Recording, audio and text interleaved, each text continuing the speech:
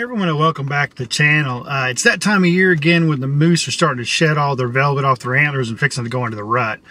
And for the last several years I've been after a shot and I have tried to get it and I just keep missing the timing because uh, when these moose go and they start raking these trees and getting all that velvet off, it just takes them part of a day to get that velvet off and then a couple days for it, oh, that blood to dry off and their antlers kind of tan or brighten up. They get real bright and then they get started getting golden dark.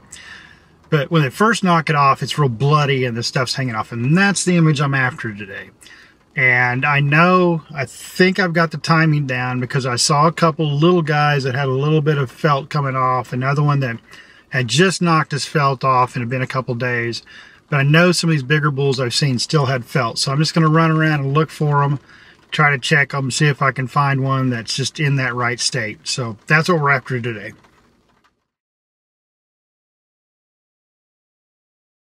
Hey guys, before we get started, make sure you go like, share, and comment and all those good things. I love seeing all the comments that you guys leave on the channel.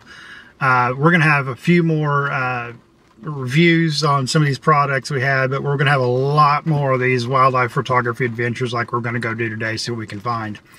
Um, expect because the winter and the falls when I get the moose in the rut, I got Dall sheep that pop out. We'll find fox and coyotes and raptors, eagles, and things like that that are in the fall and into the winter, which is really cool. And owls. Uh, so you know, go back and also look at some of the older content that I have. Uh, one of my favorites is the shorebirds video I did and some of the fox and stuff like that. But leave me a comment. Let me know what you guys want to see. If there's any products you want me to look at, I, I can't review everything, but there's some things. If I find it useful for wildlife photography, yeah, I'll go review it for you guys. But and if there's an animal you'd like for me to go look for, uh, don't say muskox, don't say snow owl, and don't say uh, Arctic fox because I can't get to those. They're too far north for me. But everything else here in Alaska I can probably find. And uh, but anyway, guys, uh, I'm gonna go get after this and go see what we can find. And I've just now found a cow and a couple calves down here drinking. So I'll go get a few pictures of those and I'll talk about it in a minute.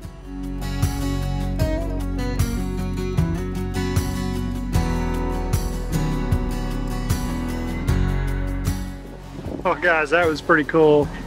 Uh, I've had that cow and two calves. She was down there uh, drink a little bit of water, so I got a few pictures of the water dripping from her mouth. I mean, it's nothing great.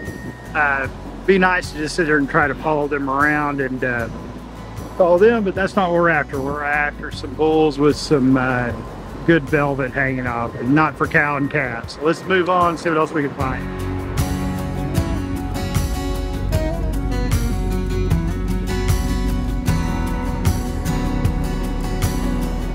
Guys, it was a fun little encounter. I went and talking to a friend of mine, parked a bit behind me, and got talking. We looked down, and a cow came down the hill and got next to the truck and was standing behind my truck. So I got some video to put it to her. It's pretty fun. Uh, so now I'm going to move back here to some little more tighter areas and see if I can find some bulls. Uh, none seem to be out here where I'm looking, so we're going to go somewhere else.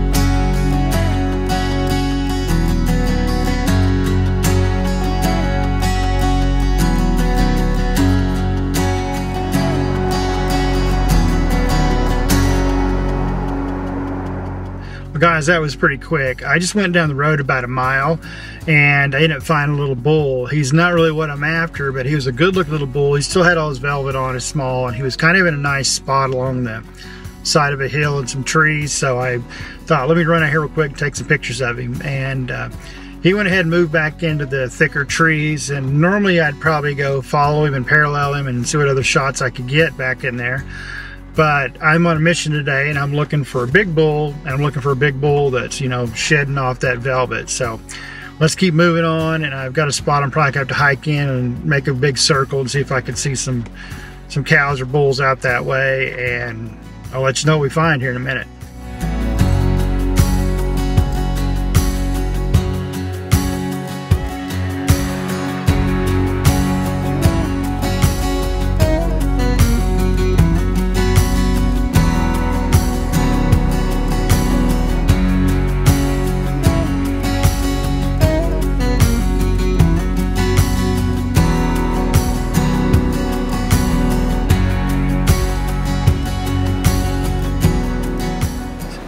Wow, check this guy out.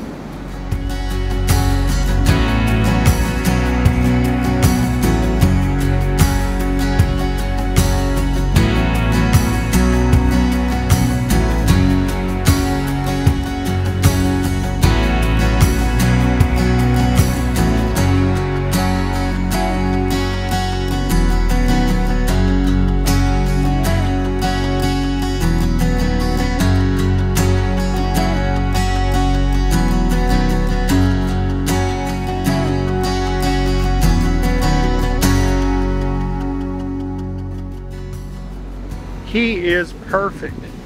He's exactly what I've been looking for. He's got, he looks like last night of this morning he was out there just rubbing that velvet and rubbing it off. Got a little bit of velvet hanging from the back paddle. The antlers are still just red from the blood that's popped out of those vessels when he was rubbing that off.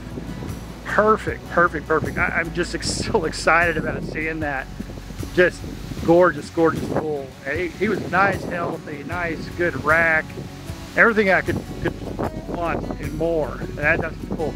Didn't have to work too hard getting shots of him because he was perfectly on the side of this hill, nice tall grass.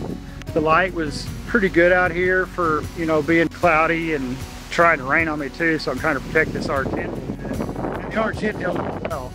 Uh, John, uh, uh, you know, running everything just about like running the R5 as far as the shutter and the ISO and everything. Uh, but again, I was shooting wide open at 2.8 with that lens, that 70 to 200 lens. And I'm shooting about 500 on the shutter speed, so that means I can keep the ISO around 1 to 400, which is perfect. That's a lot of dynamic range to work with. So I should be able to work with those shots really well. But guys, I am super excited. That, that was just beyond belief. But again, guys, uh, like, subscribe, share, and then over here, should be a link to the shorebird video. Go watch that one next, and I'll see you on the next episode. Take care.